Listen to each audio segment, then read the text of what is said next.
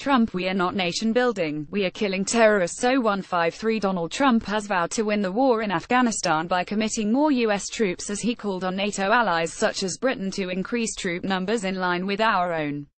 The American president went against what he had previously said during the election campaign when he claimed the mission in Afghanistan was a waste of U.S. efforts and vowed to pull troops out. Yet in a surprise move President Trump claimed that a withdrawal of personnel would leave a power vacuum that to be filled by terrorists, as has happened in Iraq.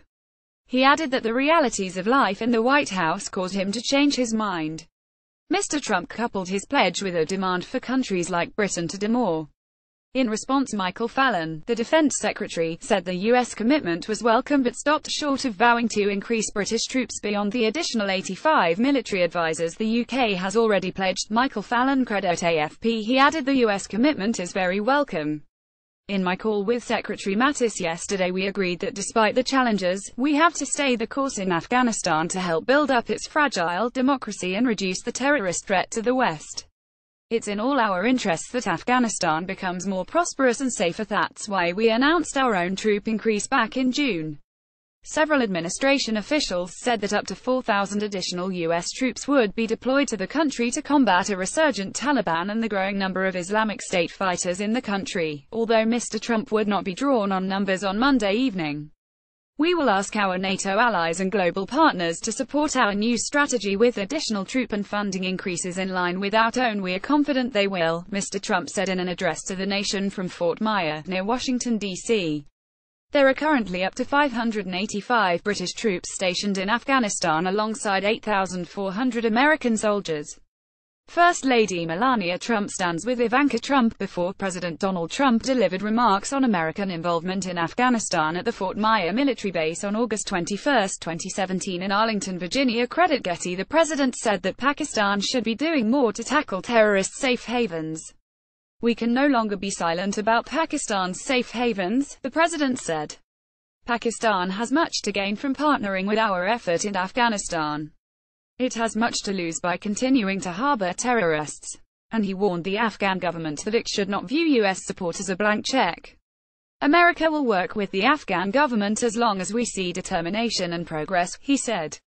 However, our commitment is not unlimited, and our support is not a blank check. The American people expect to see real reforms and real results. Mr. Trump frequently questioned U.S. policy in Afghanistan on the campaign trail. He was previously skeptical about the merits of sending more troops to the front line of what is America's longest military conflict and said the U.S. should quickly pull out of the country. However, he also vowed to start winning wars and his military advisers appear to have convinced him that any victory against the Taliban and ISIL factions would be impossible without more troops and resources.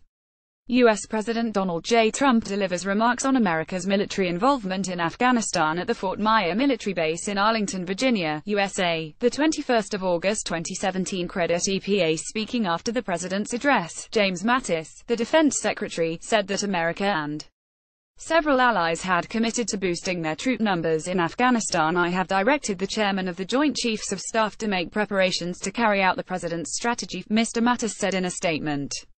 I will be in consultation with the Secretary General of NATO and our allies several of which have also committed to increasing their troop numbers.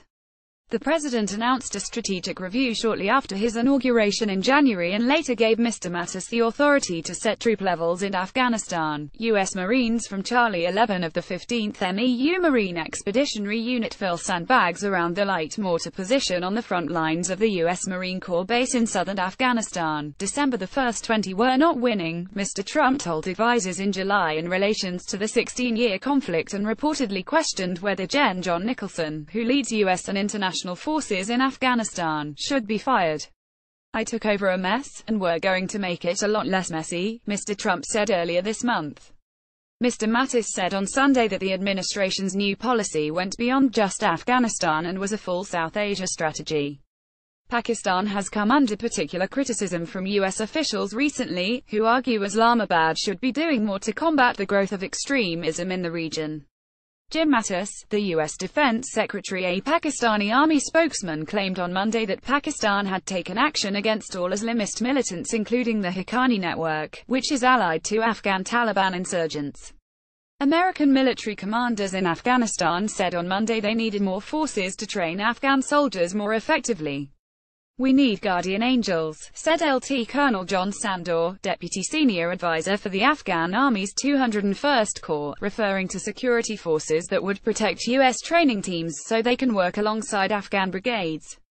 An Afghan farmer in the northeast of the country, a Ministry of Defense spokesman said as announced in June, we are already in the process of deploying an additional 85 British military personnel to Afghanistan, bringing our total contribution to 585.